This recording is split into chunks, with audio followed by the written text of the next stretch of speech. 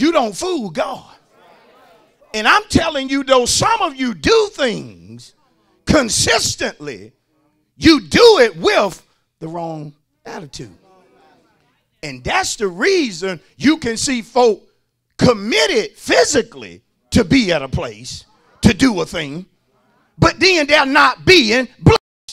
So you wonder why is brother so and so not blessed when he doing such and such all the time? It's because when he does it, it's not will the right heart. See, if you're going to serve God, you often have to check your heart. Because sometimes there can be things eating at your faithfulness that if you don't really examine yourself, or do a thorough search, you will not even see the thing that's killing your faithfulness. I shared with some of y'all that for the first time, I got me, or was given to me, two tomato plants. And I, and I told somebody, I, I said, man, I ain't been so happy about something in my life as them two tomato plants. Folks will tell you if they came by my house. Out of all the nice cars that I have. I ain't trying to show them no, no, no, no, no car. I'm saying you gotta see my two tomato plants. Even my children got tired. Oh, God said, come, come on and look at them. Come look at them. I count the tomatoes. Oh, y'all ain't hear me. Brought two, brought three in the house yesterday. Chopped them up. Me and first lady had a tomato sandwich. It might have been in our mind, but that was the best tomato sandwich I ever ate. Now I'm biased because they were my tomatoes.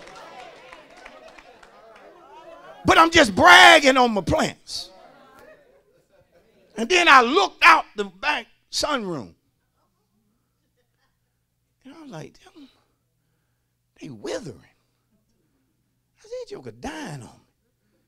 I started just putting water down. And water and water. Then I started doing the research. And somebody said, well, you can overwater.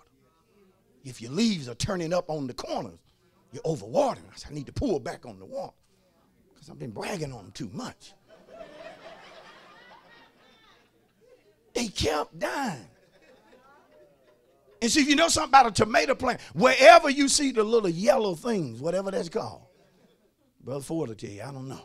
But that means a tomato coming there. I went out there one day, I'm just counting 18, 19, I'm like, each one of them got about 20 or so of them on there. So I'm gonna have about 40, 50 tomatoes. Good God Almighty.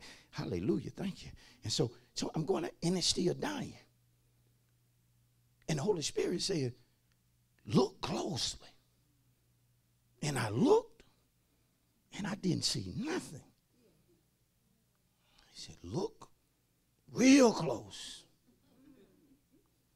And I began to see big old green worms on the plant that looked the same color as the plants, and they were just eating away. Then I studied that, and they told me, said, if you don't deal with them things, they'll eat the whole plant.